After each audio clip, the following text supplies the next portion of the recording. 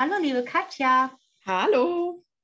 Katja, ich freue mich total, dass du heute bei der Hundeplauderei dabei bist. Oh, warte mal, meine Brille beschlägt. Moment, weil das war nämlich, jetzt habe ich mich gerade so, war ich gerade so konzentriert, weil ich schon wieder aus dem Meeting geflogen bin. Okay, jetzt kann ich dich wieder gut erkennen.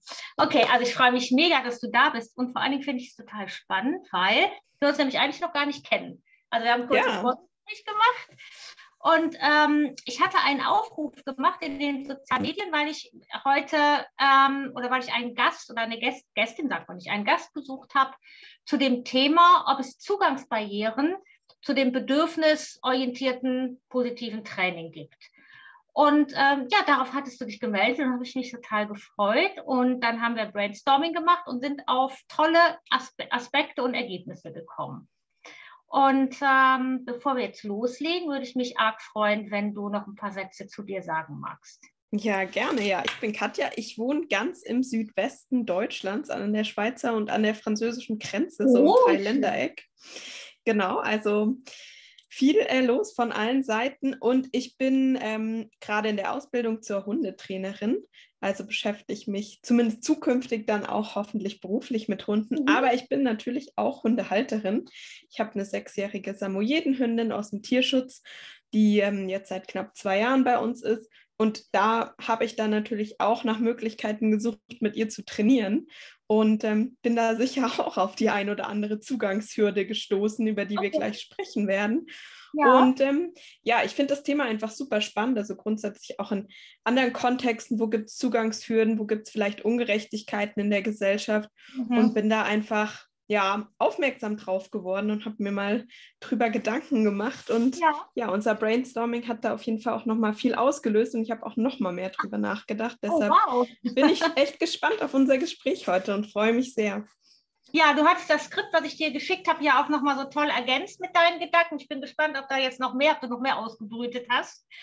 Okay, vielleicht können wir ja direkt mal mit deinen persönlichen Erfahrungen anfangen. Was waren denn für dich so Zugangshürden? Mhm. Sag mir nochmal, wie deine Hündin heißt, bitte. Milka, wie die Milka. Schokolade. Ja, okay, Sie ist zwar genau. weiß, aber. Genau. Also, genau. Okay, also reden gar nicht so viel über Schokolade. Ähm, magst du mal ja, darüber ein bisschen sprechen, was mhm. so deine Zugangshürden waren? Ja, also eine Zugangshürde war auf jeden Fall die Sprache. Also ähm, es gibt da ja so viele Wörter, die in dem Zusammenhang fallen, die auf Webseiten stehen, die auf Instagram-Bios stehen und wo auch immer. Und ich fand es super schwer, sich da zurechtzufinden. Also für mich war schon klar, dass ich, also für mich war, ich, ich hatte noch kein Wort dafür, aber für mich war ziemlich klar, ich möchte nicht mit Gewalt arbeiten, so. Okay. Weil ich ähm, komme aus dem Reitsport und ja. da wird eben immer noch sehr, sehr viel aversiv trainiert mit Pferden leider. Da ändert sich auch was, aber ähm, da war mir einfach klar, da habe ich gemerkt, so, das will ich nicht, das kann ich nicht, das macht mir keine Freude und es muss einen anderen Weg geben. Und ich wollte einen anderen Weg mit meinem Hund gehen. Und ähm, ja, habe mir dann natürlich irgendwie Webseiten angeschaut, Instagram-Bios und da gibt es einfach so viele Wörter, die ich total verwirrend fand. Also bedürfnisorientiert, wertschätzend, aber auch bindungsorientiert, ähm, was man viel sieht oder werde ein gutes Team mit deinem Hund. Und ich finde es super schwierig, da herauszufinden, wer ist denn jetzt wo zu verorten, weil ganz oft passt das, was dann da steht, vielleicht gar nicht so sehr zu dem, wie es dann am Ende ist. Deshalb die Sprache, würde ich sagen, ist, ist echt eine, eine Zugangshürde, um überhaupt mal verstehen zu können, was ist das denn? Ähm, da würde ich ganz gerne noch mal einhaken und dich noch was fragen. Und zwar hast du jetzt gesagt, auf der einen Seite halten die Begriffe nicht das, was sie versprechen. Mhm. Aber wenn sie dann, also wenn man so daran geht, dann haben sie ja schon was bei dir ausgelöst. Das heißt, du hast ja eine Vorstellung gehabt mhm. von dem, also von dem Inhalt, den sie transportieren ja. sollten. Ist es denn auch so, also das Gefühl habe ich eben manchmal, dass ich sage mal, ein Hundehalter, der einfach nur in Anführungsstrichen ein bisschen mit seinem Hund trainieren will, der ist ja auch mit der Sprache, die wir Trainer benutzen, ja gar nicht so versiert und hat mhm. womöglich auch gar keine Idee, was, was für Werte wir damit transportieren. Ja. Also könnte es vielleicht auch sein, dass diese Begrifflichkeiten in Anführungsstrichen zu abgehoben sind, zu mhm. intellektuell? Mhm. Was meinst du? Also ich, ich bin da selber nicht sicher. Deshalb. Ja, also ich glaube, was ich tatsächlich einen echt schwierigen Begriff finde, ist zum Beispiel fair, weil den mhm. findet man sowohl bei ähm, Trainerinnen, die positiv bedürfnisorientiert trainieren, als auch bei denen, die das definitiv nicht tun. Ja. Ähm, und das fand ich super schwer, dann auseinanderzuhalten. Also was mhm. bedeutet denn fair jetzt für die jeweilige Person? Ne? Also mhm. sagt die Person, eine Strafe muss fair sein und das Timing muss gut sein? Oder sagt eine Person, nee, Strafen, bewusst herbeigeführte Strafen haben eigentlich in unserem Training gar nichts zu suchen. Mhm. Ähm, deshalb ja, ich, ich glaube schon, dass die, die Begriffe sind schon auch ziemlich hochtrabend, so, ja. wenn man sich nicht mit dem beschäftigt hat. Was ich einen ganz guten Begriff fand oder wo ich mich, das ist jetzt natürlich aber auch eine persönliche Sache, wo ich mich ähm, abgeholt habe, war so das Thema freundlich. Weil da dachte ich mir so, sehr gut. Ja, freundlich, ähm, freundlich, da kann ich mich, kann ich mich damit identifizieren. Mir ist auch irgendwie, oder ich hatte das Gefühl, man kann auch nicht unfreundlich freundlich sein. Also wenn man freundlich ist, dann hat man meistens eine freundliche Sprache, man hat ein freundliches Auftreten und das geht dann schon für mich in so eine Richtung, ja, die, ähm, in die ich dann auch gehen wollte. Ja, okay. Das finde ich, ähm, also das finde ich eine schöne Idee von dir und auch eine schöne ähm, Alternative, die man auf jeden Fall auch in die Beschreibung von seiner Arbeit und von dem Training, was einem so vorschwebt, schön mit reinnehmen kann. Also es ist ja tatsächlich wirklich, wirklich schwierig, mhm. mit, mit, einem Wort einen Inhalt zu transportieren. Ja jeder einen anderen Background hat und das auch anders füllt. Aber das ist eben das, was, wo ich auch oft das Gefühl habe, dass die Wörter, die wir, ich sag mal, wir, wir positiven Trainer ähm, oft benutzen, dass das tatsächlich eine von den Barrieren ist. Also da mhm. auch, wäre auf jeden Fall noch Bedarf, mal drüber nachzudenken. Ja. Ähm, dann habe ich mir noch so als Stichpunkt aufgeschrieben, könnte auch ähm, Geld eine Zugangsbarriere sein. Wie siehst du das? Ja, also ich glaube, Geld ist auf jeden Fall eine Zugangshürde, also ganz generell für Hundetraining. Das mhm. kostet einfach Geld. Damit verdienen Leute auch ihren Lebensunterhalt. Das soll ja auch Geld kosten. Mhm. Aber klar, wenn man nicht so viel finanzielle Ressourcen hat, ist es definitiv ein Punkt. Und was ich schon sehe, wenn ich mir einfach jetzt bei uns im Ort den Schäferhundeverein anschaue, da gibt es Training für sehr, sehr kleines Geld. So, ne? Da kann man für irgendwie fünf Euro kann man da mal vorbeikommen und in so einer Gruppenstunde mitmachen. Und ähm, das Training ist sehr weit weg von freundlich und bedürfnisorientiert. Ne? Und ähm, ich glaube, der Unterschied ist schon auch, dass, dass ähm, den bedürfnisorientierten Trainern und Trainerinnen es, es natürlich auch naheliegt, ein, ein gutes wenn es eine Gruppe gibt, die Gruppe so zu gestalten, dass ein gutes Lernumfeld da ist. Und das geht natürlich nicht, wenn da 20 Leute in der Gruppe sind. So. Und dann muss man aber im Gegensatz natürlich die Preise erhöhen, damit es sich am Ende auch lohnt. Deshalb, ich würde schon sagen, dass auch finanzielle Ressourcen auf jeden Fall eine Zugangshürde sind. Ich merke gerade, ich, ich merke gerade, wie, gerade wie schwierig das ist, sich darüber zu unterhalten, ohne so einen Trainer oder so ein, so ein Bashing zu, zu betreiben ja. und auch nicht ähm, so als äh, so hochnäsig oder so rüberzukommen. Also mhm. ich mag, dass das wirklich schwierig ist. Also ich habe ähm, so, versucht mal so ein bisschen, nicht versucht, ich habe so ein bisschen recherchiert, so wegen den Preisen. Und ich habe schon, also ich sag mal, Trainer, die, die müssen ja noch nicht nur über Strafe arbeiten. Ich will das auch gar nicht so gegeneinander stellen, aber Trainer, ja. die die eben, ich sag mal, nicht so ganz so bedürfnisorientiert oder die anders trainieren. Nee, sagen wir einfach anders. Ich hoffe, dass das mal so gar nicht wertend ist.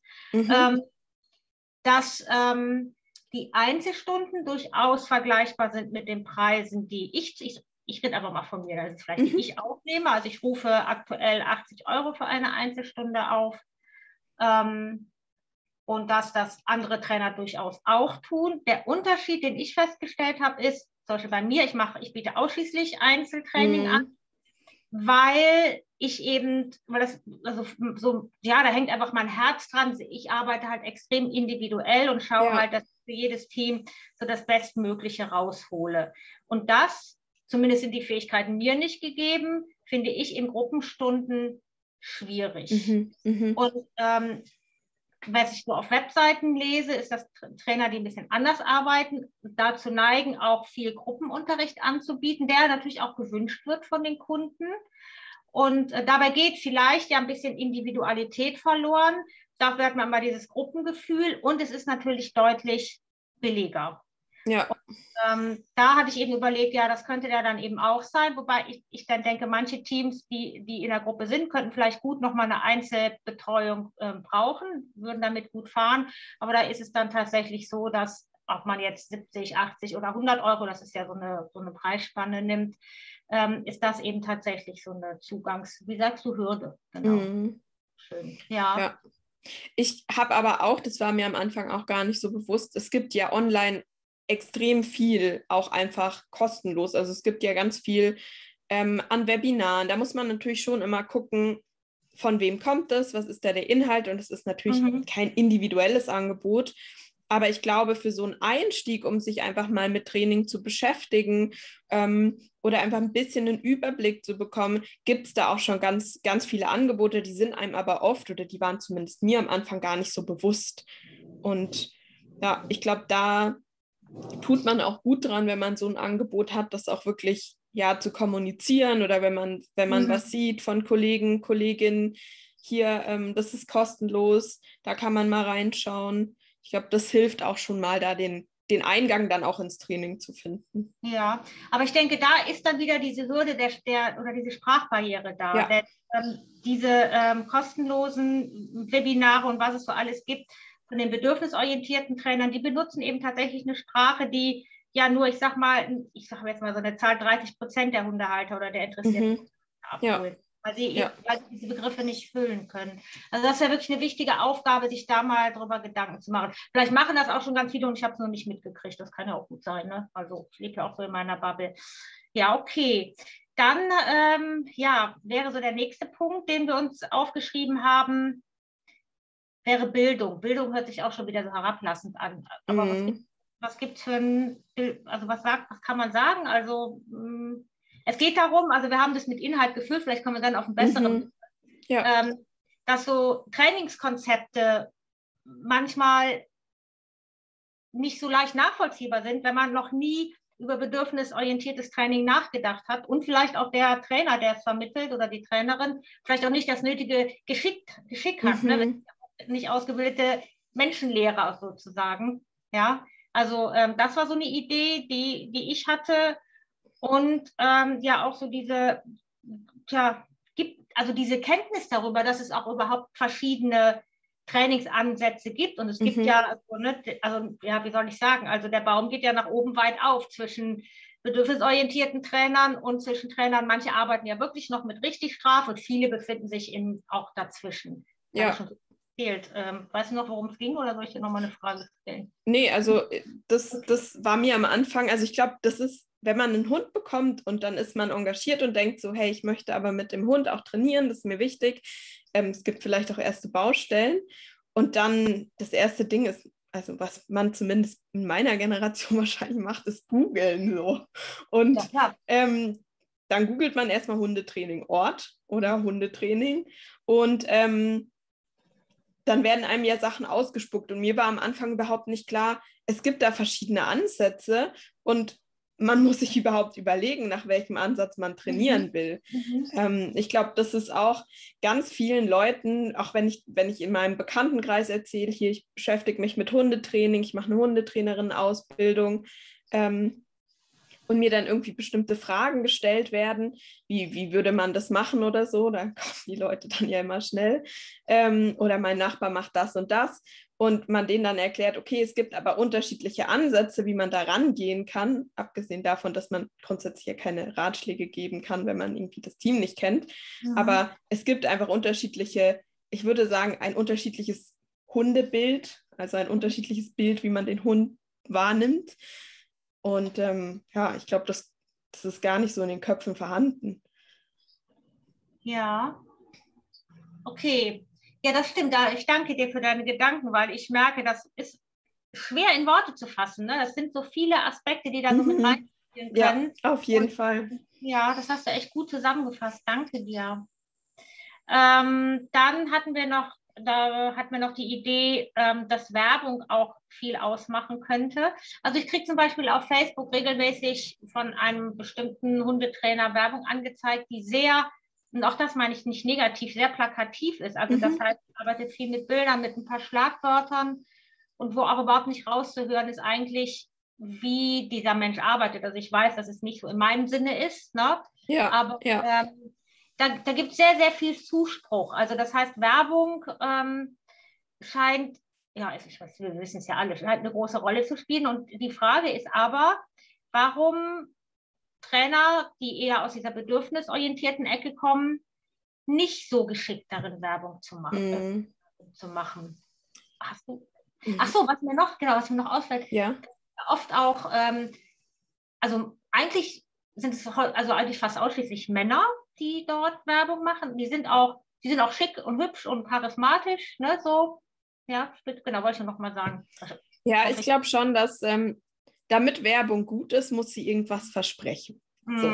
Und ich glaube, dass sich damit viele Trainerinnen aus unserem Bereich schwer tun, mhm. weil man sagt, realistischerweise können wir nichts versprechen, mhm. weil es ist extrem individuell, was am Ende dabei rauskommen wird. Es ist von so, so vielen Faktoren abhängig und man kann eigentlich seriös nicht versprechen, dass du in x Tagen Leinenführigkeit haben wirst oder mhm. in x äh, Monaten allein bleiben funktioniert. So, das kann man einfach eigentlich nicht versprechen, aber Werbung ist ein Versprechen und ich glaube, das ist einfach so ein Zwiespalt, in dem man sich dann auch befindet, weil man will natürlich keine falschen Erfolgsversprechen machen, ganz mhm. klar. Mhm. Ähm, aber man will schon auch ja die Leute motivieren, zu einem zu kommen. Also was, was ich sehe, was gut funktioniert, sind so Vorher-Nachher-Vergleiche und ich glaube, die kann man schon unterschiedlich gestalten. Die kann man schon so gestalten, dass irgendwie transparent wird, hey, das ist eine individuelle Geschichte von diesem Team, ähm, mhm. aber dieses Team hat das und das erreicht.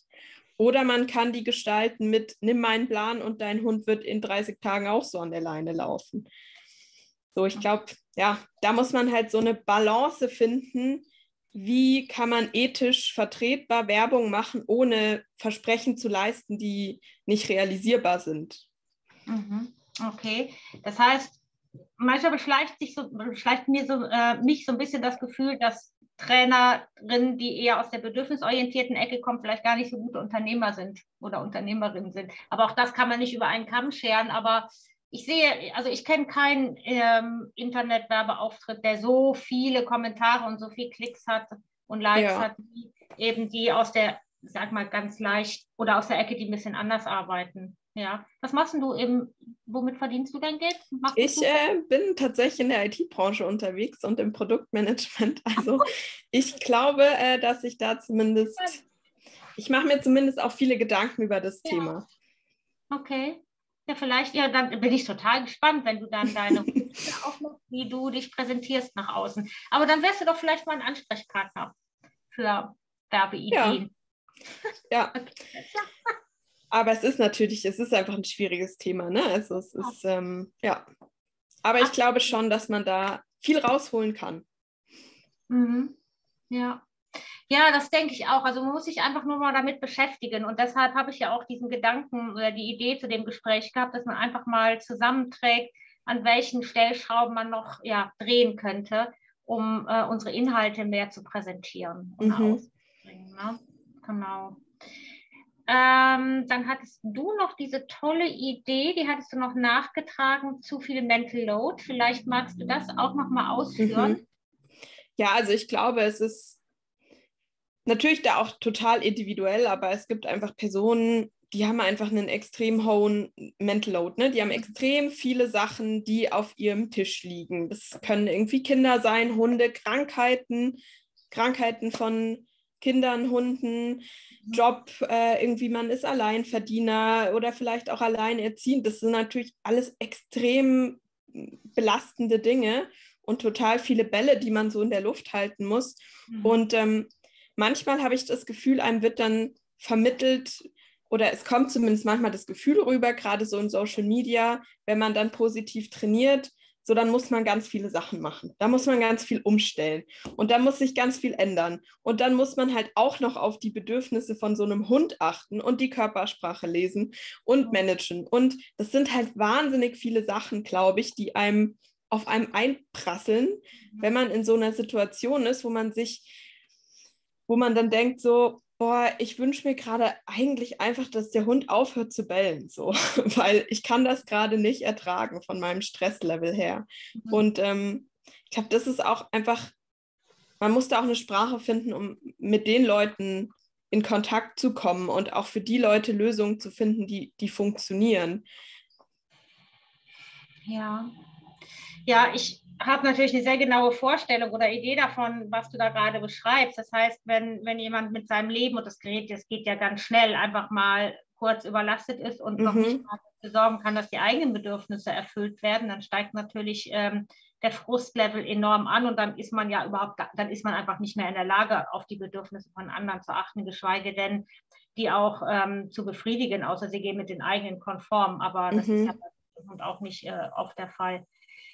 Ja, aber weißt du, manchmal denke ich auch, also klar, es gibt immer mal so, so Lebensphasen, wo es, wo es anstrengend und schwierig wird, dann ist das eben so. Ne? Aber dann hat man ja meistens oder hoffe ich auch ein, ein Polster, wo der Hund dann ja. eben auch so gefestigt ist und auch merkt, okay, jetzt ist gerade nicht Hundezeit und der hat Strategien, legt sich hin oder macht irgendwas und da geht die Welt ja nicht von unter. Aber ich habe schon so mh, hm, das Gefühl, dass, ähm, dass dass Hunde sich einfach auch manchmal zu schnell angeschafft werden. Ja, das stimmt, das ja. glaube ich auch. Da, und das finde ich dann auch so, also dann überlege ich mir halt oft so, ja, was ist unsere Aufgabe? Also mhm. wir können ja, wir können ja, wir sind ja keine ähm, Familientherapeuten oder Psychologen, ne, die da regulierend so eingreifen können in den Familienalltag. Und ähm, wir können ja auch nichts anderes als die Wahrheit sagen. Das heißt, ja. wenn Bedürfnisse auch von Hunden, ja, wenn die häufig übergebügelt werden und keiner richtet sich danach und keiner versucht, dem Hund gerecht zu werden, dann sind natürlich Verhaltensauffälligkeiten vorprogrammiert und Klar, die können ja. dann auch nicht wegzaubern.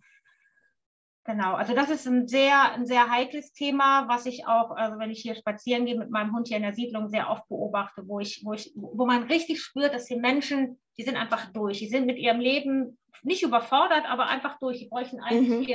In Ruhephasen, ja. Und ähm, da habe ich zum Beispiel, das, habe ich oft so das Gefühl, dass erhoffen sie sich von einem Spaziergang mit dem Hund, mhm. was dann funktioniert, weil der Hund eben so eigene Ideen hat, wie so ein Spaziergang. Ja. ja.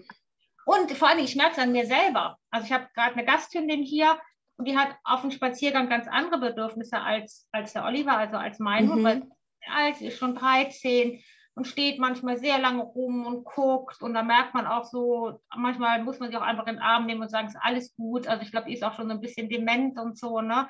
Und ich merke halt auch, je länger mein Tag war und mhm. äh, je mehr ich an Frust auch aufgebaut habe, da gehört ja gar nicht viel dazu, sondern es ist einfach die Impulskontrolle ja. leer und ich, ne, ähm, ja, dann wird es schon schwierig. Genau. Da habe ich aber natürlich auch keine Lösung für. Also. Nee, ja, ich glaube, was da halt hilft im Außenauftritt, ist so ein bisschen Strategien mitgeben, wie man damit mhm. umgehen kann, wenn man selber keine Kapazitäten ja. hat. So, ne? Und dass es auch okay ist, wenn man mal keine hat. Ja, klar. So, und dann hilft halt Management und dann hilft halt mal Futter streuen und der Hund ja. ist beschäftigt und dann gibt es halt keinen großen Spaziergang oder keinen Spaziergang, wo ich weiß, so der wird jetzt für mich schwierig. Mhm. Ähm, ja, ich glaube, das hilft da schon auch, um, um die Leute abzuholen, die sich manchmal in so einer Situation befinden. Das stimmt. Und was ich finde auch helfen würde, ist, dass man, bevor man ähm, sich einen Hund ins Haus holt, dass man, ja, dass man sich da vielleicht doch gern nochmal ähm, ein paar Ratschläge holt, so wie viel Kapazitäten und Ressourcen braucht der Hund von mir. Ja. Das finde ja. ich total schön. Und das ist auch so, das haben wir jetzt gar nicht im Skript stehen, aber das ist auch so was, was so wichtig wäre, dass man ein paar mehr Informationen im Vorfeld hat und dann vielleicht auch einfach ähm, eine, also ja eine andere Entscheidung treffen kann oder die eigene Entscheidung nochmal mhm. überdenken. Also diese Idee, dass man sich quasi wirklich ein, man holt sich einfach ein Kleinkind ins Haus. Ja, ja. Und sich halt auch zu überlegen, was der Worst Case. Also bevor wir, ja. also wir haben sehr, sehr lange überlegt, bis Milka mhm. zu uns kam und wir haben gewartet, bis wir in ein Haus gezogen sind und einen Garten okay. und so. Also es war eine sehr lange Entscheidung. Mhm. Ähm, aber wir haben uns halt auch überlegt, was sind denn so die Worst Cases? Also was mhm. passiert denn, wenn wir, wenn sich beruflich was ändert? Wie können wir denn dann trotzdem noch sicherstellen, dass sie gut betreut ist? Mhm. Gibt es da irgendwie Familie dahinter? Oder wie können wir das sicherstellen? Was passiert denn, wenn einer von uns krank wird? Wie können wir das leisten? Mhm. Also ich meine, natürlich, wenn der schlimmste Fall eintritt, muss man sich immer neu sortieren, das ja. ist ja klar, aber sich einfach vorher zu überlegen, was bedeutet das einfach mhm. für uns und was sind so Dinge, die eintreten könnten. Ja. ja. Ja, ist auch ein ganz, ganz großes Thema. Ja, okay. Was haben wir noch? Ah, wir haben noch. Wir haben noch die Verfügbarkeit mhm. von bedürfnisorientierten arbeitenden Trainerinnen. Das heißt, dass es eventuell schwierig ist, ähm, ein, eine Hundeschule vor Ort zu finden, weil das ist genau das, was du eben gesagt hast. Wenn ja. man bei guckt, sucht man meistens erstmal, äh, so weiß ich nicht, so 20, 30 Kilometer vom eigenen Wohnort entfernt. Ne? Und ähm, ich weiß gar nicht, wie die Abdeckung, Abdeckung ist. Also ich weiß zumindest hier, weil ich hier gesucht habe, wir haben uns am Ende entschieden, online zu trainieren, weil wir ah, hier nichts gefunden haben. Mhm. Ich meine, es war sowieso auch noch Corona-Zeit damals und sowieso etwas schwierig. Aber ähm, es gibt jetzt eine neue Kollegin vor Ort, die, mit der habe ich mich auch schon getroffen hier. Ah, ähm, genau, die gibt es, aber die gibt es jetzt noch nicht so lange. Mhm. Und ähm, es gibt dann so, ja, 80 Kilometer weiter gibt es eine größere. 80 oder 18? 80. Also Ui, das ist schon ja. ein Stück. Ja, okay, ja. Also dann sage ich mal so, dann ist so diese, ähm, diese Verfügbarkeit auf jeden Fall, also zumindest die Vor-Ort-Verfügbarkeit, ähm, ist eben auch eine Hürde. Ne? Genau, okay. Ja. Dann hatten wir noch ähm, das Stichwort, was erwartet mein Umfeld? Ich glaube, das kam auch nochmal von mhm. dir. Ja, also das habe ich äh, auch ganz stark gemerkt, wenn man jetzt einen Hund hat, der vielleicht in der Öffentlichkeit ein Verhalten zeigt, was von anderen Menschen jetzt nicht so gut geheißen wird. Also der Hund bellt zum Beispiel oder geht nach vorne. Ähm, dann habe ich zumindest erlebt, dass ganz oft eine Erwartungshaltung aus dem Umfeld kommt, ja, aber du musst den ja jetzt bestrafen, so. Oder okay. Milka hat zum Beispiel ähm, hat gelernt, dass es eine ganz gute Idee ist, wenn sie Elektrogeräte holt und uns bringt. dann bekommt sie ja immer Sachen. Und sie hat relativ schnell verstanden, dass es super ist. Und ähm, ja, also wenn man mal ein Elektrogerät sucht, kann man sie auch losschicken. Aber es ist natürlich manchmal die Fernbedienung, von der ich jetzt nicht gerade möchte, dass sie das Programm wechselt. So. Aber ähm, ja, mittlerweile klappt auch ganz gut. Wir können tauschen und dann bekommt man es auch wieder. Ähm, aber ja, wenn dann Besuch war, äh, teilweise äh, gab es dann schon mal so einen Kommentar wie, also ich würde sie jetzt einfach aus dem Maul reißen. So. Ja. Und dann mhm. erkläre ich natürlich, warum ich das nicht tue und dass ich gern möchte, dass es immer wieder zu mir bringt, was sie ja mhm. tut. Ähm, aber da ist dann schon einfach so eine Erwartungshaltung von anderen Leuten da und ich glaube schon, dass man sich da dann auch sicher sein muss selber, dass mhm. man da nicht drauf eingeht oder nicht mal so einen Ratschlag von, von irgendjemandem befolgt oder auch auf dem Spaziergang, also gibt's, bekomme ich zumindest öfter mal so einen Kommentar mit, die kriegt aber auch nur Leckerlis, ne? So, ja, ja die mhm. kommt ja auch. aber da muss man sich halt schon, glaube ich, auch irgendwo rüsten dagegen und sich so eine gewisse Schlagfertigkeit. Okay, das, ähm, das heißt, du meinst das so, man hat quasi schon so, so den Zugang gefunden zum genau. positiven bedürfnisorientierten Training. Und es, man läuft aber natürlich immer so ein bisschen Gefahr, durch den Erwartungsdruck doch mal anders mit dem Hund umzugehen. Mhm. Ja, okay. genau. Ja, ja, ja mhm. das verstehe ich. Ja, also das kann ich, ich kann das auch gut nachvollziehen und ich glaube auch nicht, dass das so schlimm ist, wenn man dem Druck mal nachgibt, weil wir ja einfach auch irgendwie soziale Wesen Menschen sind. Ja. Genau. Ähm, aber ja, das kann sein, vor allem, wenn man vielleicht auch ähm, ungefähr aufwächst, und dann kommen wir mal zum nächsten Punkt, ähm, wo die Tradition vorherrscht, das haben wir immer schon so mhm. gemacht. Ja. Von der Zeit genommen und sind umgegangen und dem ging es ja auch gut. Also da also gegen Gewohnheiten und Traditionen anzugehen, ist, glaube ich, eine ganz, ganz große Hürde. Mhm. Ja. Hast du das auch erlebt? Einer von deinen Familienmitgliedern? Also hat er vielleicht eine andere Tradition im Umgang mit dem Hund oder also meine Familienmitglieder sind zum Glück alle relativ, also die hatten alle keine Hunde. Und ähm, ich finde es immer ganz, ja. ganz schön, dass Leute, die keine Hunde haben, haben normalerweise erstmal die Intuition, total lieb zu Hunden zu sein. Ja. Und ähm, von dem her hat das schon ganz gut geklappt. So. Mhm. Ähm, also klar, es gab schon Leute, die haben sich dann mal irgendwie so die berühmten im Fernsehen angeschaut und gesagt, ja, aber der macht das doch so und so im Fernseher. Ähm, warum macht ihr das nicht? Oder mhm. das finde ich besser, wie die Person im Fernsehen das macht. Aber ich glaube auch, dass ähm, ja, Milka wickelt einem total schnell um die Pfote und sie ist einfach ein sehr, sehr liebevoller Hund. Und ich glaube, sie hat da einfach viel dazu beigetragen, dass ihr dann auch durch ihren Vertrauensvorschuss, den sie gibt, ihr dann ja. eben auch alle entgegenkommen. Ach, wie schön. Ach das, ach, das freut mich. Ich kriege direkt eine Gänsehaut. Oh, wie schön. also ich finde aber auch, dass Samoyeden so, ähm, das sind auch, wie soll, wie soll ich das sagen? Also ich finde den Begriff hübsch gar nicht richtig, aber ich finde schon auch, dass die extrem sympathisch aussehen mhm. und schönes, offenes Gesicht haben. Ne? Diese ja, das stimmt. dunklen Augen und, diese, und dann auch so diese kleinen Ohren. Und also ich, ich finde die auch wirklich, äh, das sind, ja, ich finde, die sehen auch schon irgendwie liebevoll aus. Ja, also die meisten, die ich kenne, sind auch tatsächlich auch aus schlechten Verhältnissen mhm. sehr menschenbezogen und sehr okay. offen. Und ja, Menschen mögen das halt, wenn Hunde auf sie zukommen und sie direkt ja. mal anstupsen und anschauen. Das mögen wir halt. Und ja. ja. Ich glaube, deshalb haben wir ja auch Hunde. Also weil wir fassen sie einfach gern an und wir freuen uns über ihre Aufmerksamkeit. Genau, ja. ja. Okay, meine Liebe, haben wir noch was vergessen? Ähm, wir haben noch, ich habe hier noch als Stichwort den persönlichen Hintergrund stehen. So ein bisschen mhm. so sich darüber zu unterhalten. Ne? Aber ähm, ja, wenn man, ich ich denke, das sollten wir ruhig ansprechen, weil es kann eben auch eine Hürde sein, wenn man. Ja, auf jeden Fall. Ne, also magst du gerne, du kannst da gerne einsteigen. Ja, also ich finde, wenn man anfängt, bedürfnisorientiert zu trainieren, muss man sich erstmal ganz viel mit sich selber beschäftigen. Ähm, man muss ja erstmal selber verstehen, was sind irgendwie meine Bedürfnisse, warum triggern mich bestimmte Verhaltensweisen von meinem Hund überhaupt und ähm, ja auch für sich selber die Empathie entwickeln, auf sich selber zu achten, weil ich, nur wenn man auf sich selber achtet, kann man auf ein anderes Lebewesen achten. Mhm. Und ich glaube schon, dass es eine schwierige Aufgabe ist, gerade wenn man, wenn man das vielleicht selber in der Kindheit nicht so erlebt hat oder auch selber strafbasiert erzogen wurde, da wirklich dann dahinter zu kommen. Und das ist auch, glaube ich, das kannst du mir nochmal sagen, als, als Trainerin echt eine große Herausforderung, die Menschen da auch zu begleiten in dem Prozess mit sich selber eigentlich.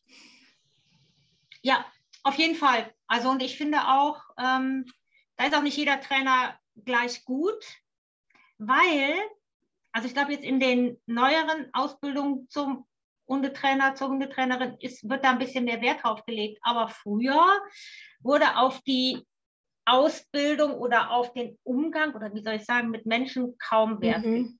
Und ja. ähm, also ich finde, man, man muss schon ein, ein großes Maß auch an Interesse mitbringen an dem einzelnen Menschen. Also so sehe ich das. Und viel fragen. Ich frage immer, wie geht es dir damit? Wie fühlst du dich? Ist das okay? Mhm. Können wir was anderes machen? Ähm, aber auch das ist natürlich schon vielen Menschen zu viel, weil erst mal rauszufinden, wie fühle ich mich denn jetzt mit dem, ja. was ich mit meinem Hund mache, wollen ja auch viele Menschen gar nicht wissen. Also ähm, es ist wirklich ein, ein Feld, wo man also wo ich auch merke, wo ich mich auch, also ich schule mich ja sowieso ständig weiter, aber wo ich noch lange nicht am Ende bin, mhm. zu gucken, ich möchte eben gerne auch eigentlich alle Menschen mitnehmen. Ähm, oder eben auch ja, die, die Möglichkeit geben, einfach liebevoll mit ihrem Hund umzugehen und nicht an der Leine zu rücken, weil es gerade einfach ist und, und weil es nervt, wenn der Hund an der Leine zieht. Ähm, aber, aber der Zugang ist für mich oft nicht einfach. Also, ähm, weil ich bin halt eher, eher so der Typ, der immer nachfragt, ist das okay und wie möchtest du mhm. denn?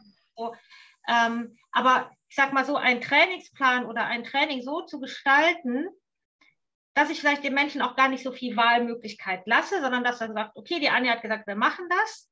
Und es aber trotzdem eben so, von den Inhalten so zu kreieren, dass es gewaltfrei, bedürfnisorientiert für den Hund ist und dass der Mensch aber quasi wie so ein kleines Rezept bekommt. Mhm. Ne, weil das, das bekommen sie ja in, ich sag mal, in, in Hundeschulen, die vielleicht schon mal sagen, ich block mal den Hund, wenn er nach vorne geht oder wenn er, wenn er in die Leine geht, ja. ein anderer kommt, dann, dann rucke ich mal an der Leine.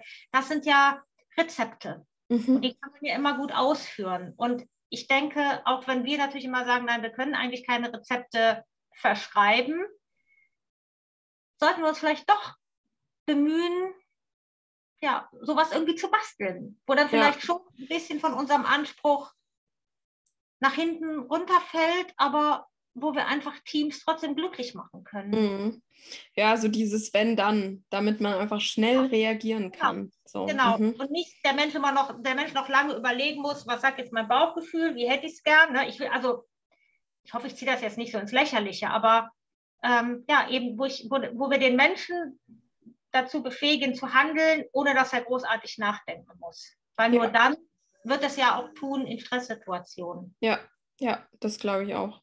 Hm, Ja gut, aber ich meine, ähm, das heißt ja nicht nur, weil, weil ich es bisher noch nicht geschafft habe, vielleicht haben es ja schon andere Trainerinnen geschafft, die kenne ich nur nicht. Oder wenn es die auch noch nicht gibt, heißt es ja nicht, dass es das nie geben wird, sondern man muss sich halt immer weiterentwickeln und äh, neue Ideen kreieren. Ne? Und deshalb ist mir das ja auch so wichtig, hier unser Gespräch heute Mhm. zu führen. Wir sind nämlich fertig. Oder hast du noch gut. auf? Nee, ich glaube, ich habe, nee, auf der Liste steht nichts mehr. Ja. Auf jeden Fall super spannend. Ja, fand ich auch. Also es ist einfach ein ganz weites Feld und ich habe jetzt, ich habe so das Gefühl, wir haben jetzt an jedem Aspekt mal so ein bisschen gekratzt. Jeder Aspekt kann ja, Ja, für sich natürlich. Ganze, ne, eine ganze Folge sein, aber ich finde das ganz schön, dass wir da versucht haben, ein bisschen Struktur reinzubringen und zu gucken, an welchen, an welchen Stellschrauben man drehen kann. Und ähm, man kann dann eben auch selber als Trainer oder Trainerin schauen, ähm, ja, wo so ist so mein Part, wo könnte ich vielleicht nur ganz allein für mich und meine Kunden noch ein bisschen Mhm. dann. Ja. Super. Liebe Katja, möchtest du noch was sagen? Nein, vielen Dank. Es war sehr schön. Es hat mir richtig Spaß gemacht. Ach, das freut mich. Ja, mir auch. Prima, Katja. Dann wünsche ich dir noch einen schönen Tag. Ach nein, halt, ich habe noch was vergessen. Das vergesse ich immer. Ich woll- wollte ja noch natürlich alle Zuhörer und Zuhörerinnen wirklich bitten, ähm, den Kanal auf YouTube gern zu abonnieren und auch gerne die Videos zu kommentieren. Da reicht auch schon ein Herzchen aus. Es geht letztendlich immer um den Algorithmus. Und ähm, das Gespräch wird ja auch auf Spotify veröffentlicht. Und äh, da würde ich mir auch, also würde ich mir wirklich wünschen, dass ihr dem Podcast folgt. Okay, jetzt bin ich fertig. Mach's gut, liebe Katja. Super, mach's gut. Tschüss. Tschüss.